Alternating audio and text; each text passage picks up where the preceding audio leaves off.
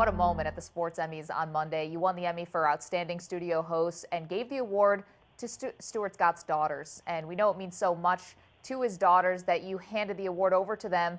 What did it mean to you to give them that award?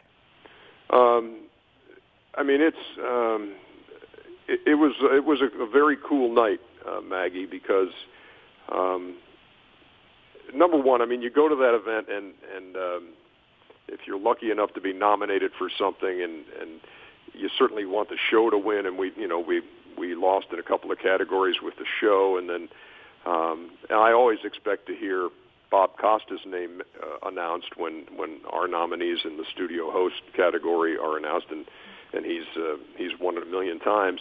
Uh, but I think everybody in the building thought that they'd hear Stuart Scott's name announced, uh, and I think we were kind of all anticipating what a cool moment it's going to be when his daughters go up and accept the Emmy for Stuart.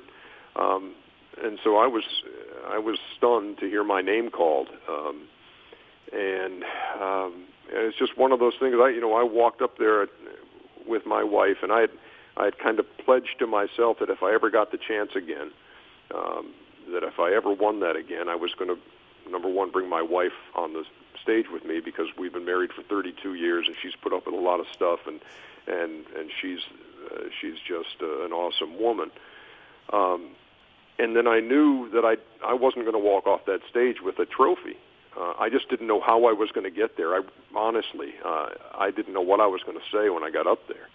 Um, so it was just um, it was just one of those moments where I thanked a few people and I and I just said, you know, this belongs on Stuart's mantle, and and I and had the girls come up and they're they're just precious and they're wonderful. I'd never had a chance to meet them, you know, and having been through cancer and having, you know, Stu and I used to kind of text each other and when, when we'd see each other personally, just kind of encourage one another and in our respective uh, battles. And I had, having gone through it first, was you know, it's kind of just like always trying to encourage him. And and uh, and and I had seen also firsthand, Maggie. I, I know what it's like. I'm one of my daughter's names is Maggie, by the way. I, and I had seen what it does to a family when dad gets dad gets cancer, and it um, and the kids, it's it's hard to handle, and they don't know how to process it all the time. And and then for uh, for Taylor and Sydney to have lost their dad to it, I could only imagine what they're going through. So if